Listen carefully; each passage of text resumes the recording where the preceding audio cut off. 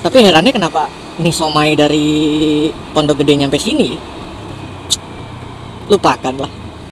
Jalan lagi di hari minggu ya. Oh iya. Welcome back sama gue di S channel. Gue lagi on beat lagi di hari minggu. No. Lagi dapat batagor di daerah Puri Gading. Keluar sekitar jam 10 seperempat sekarang jam berapa tahun hampir jam 1 baru dapat order ketiga. Alhamdulillah sih masih banyak juga yang pada diem ya gue syukurin puji Tuhan hari ini gue masih dapat tiga. Walaupun nganternya agak jauh coy. Ini ke mana ya? Coba kita lihat. Dari Puri Gading ke daerah Bojongkulur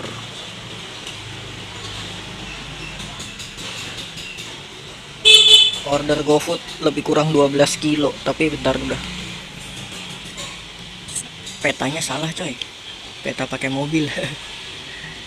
Kalau peta pakai motor 11 kilo. Nggak jauh beda. 11 kilo coy GoFood. Tapi ya nggak apa-apa lah ya rezeki jangan ditolak. Belanjanya 90.000 dapatnya 111 berarti 21.000 ongkos kirimnya nikmatin hari stay tune terus. Kalau yang mau lihat pakai cara auto beat gimana hari ini gua auto beat lagi dan modal sekitar 500 ribuan untuk di GoPay. Gimana hasil nantinya? Yuk diikutin. Don't forget to like subscribe and share buat yang belum. Kita lihat nanti di jalan gimana. Dan pengantaran dilanjut walaupun hujan celah gue lagi semangat hari ini buat cerita sama lo semua. Kenapa sih? Gitu kan tukang gojek kalau dapat order di atas 5 kilo atau di atas 3 kilo. Kalau yang GoFood itu males banget. Nah itu sebenarnya sih gara-gara sekarang tarifnya itu kecil dan semakin jauh jaraknya akan semakin lama lo perlu waktu buat mengantar walaupun nominalnya besar tapi biasanya mereka menghindari yang kayak gitu karena mereka lebih ngejar poin. For your information untuk penghasilan Gojek sekarang dengan skema yang gua dapat ya ini gua berbicara gua bukan berbicara orang lain. Mungkin orang lain ada yang lebih sedikit dan ada yang lebih banyak dari gua. Gua cuma bisa dapat itu dengan skema 22 itu lebih kurang di 200 ribuan rata setiap jalan. Nah dengan duit segitu waktu kerja sekitar 10 setengah jam sampai dengan 12 jam. Nah orang tuh pasti akan berpikir beberapa kali untuk ngambil order yang jauh-jauh. Karena Gojek sekarang sudah tidak kayak dulu lagi. Tapi kembali ya kan? Kalau memang sekarang kondisinya anyep nah itu up to you atau kembali ke diri masing-masing.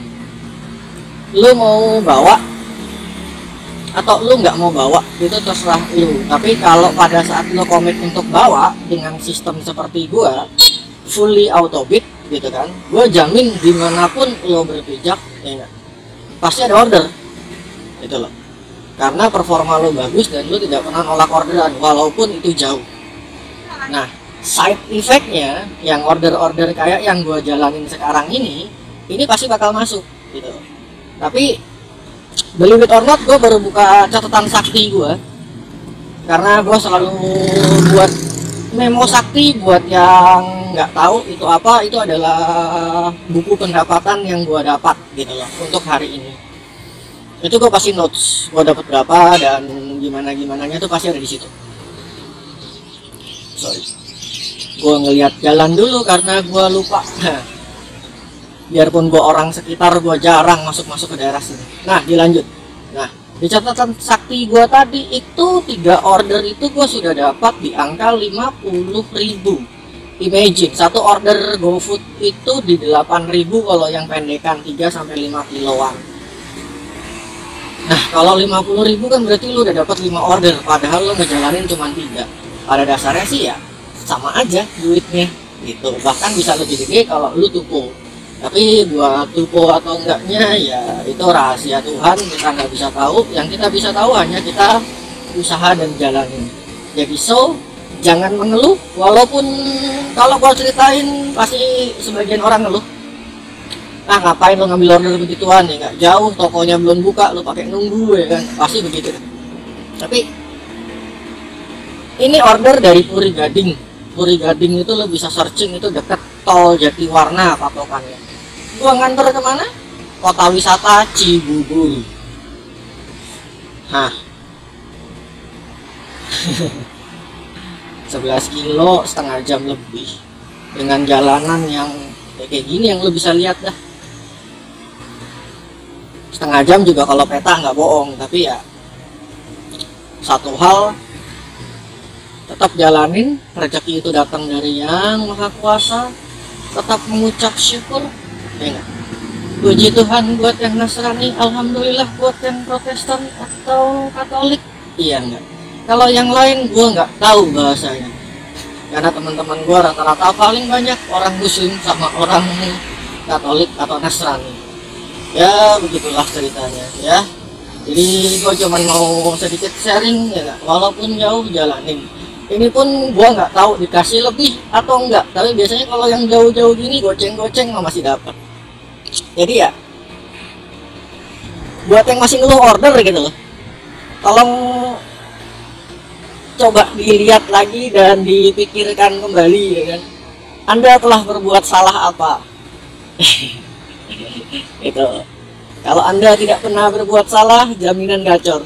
Tapi nanti gue bakal buatkan satu video lagi makanya stay tune terus di channel gue mengenai kenapa akun lo bisa anyep? Kalau kemarin gue sempat cerita gimana caranya buat bikin akun lo gacor walaupun lo tidak full time ya atau bahkan lo bisa off berbulan-bulan gitu tapi begitu off tiga hari akun lo gue jamin hidup gacor. Tapi ya tiga hari itu nyiksa sih gitu kan. Tapi ya setelahnya itu panen. Akun gua akun yang sudah lama mati suri dan sukses dengan cara itu dan itu cara gua. Ya karena jalannya dari tadi rapat banget ya akhirnya kayaknya gua sudahi sampai di sini. Nanti kalau ada satu cerita seru lagi bakal gua informasiin sama lo semua. So gue mau lanjut nganter dan kayaknya udah mulai renggang dan gue mau agak ngegeber sedikit. Gue YS gue izin pamit dulu. Ada abang grab yang mencurigakan tempel terus neng. Nah kan bener kota wisata. Vancouver.